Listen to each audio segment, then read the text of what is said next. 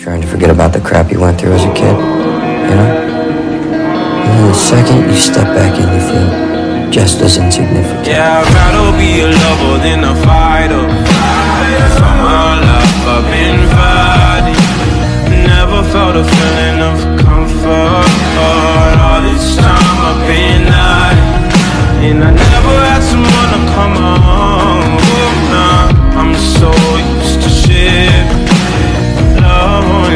sing along, but I'm at one with the tide.